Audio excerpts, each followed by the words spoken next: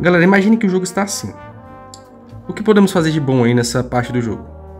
Bom, tem uma jogada evidente e tem uma jogada um pouquinho diferente. É, nós temos aqui o mate em 3. Basicamente, dama H5, peão avança para sair do cheque, sacrifico a dama, peão toma. E agora, pessoal, qual a jogada correta? Com certeza é capturar a torre.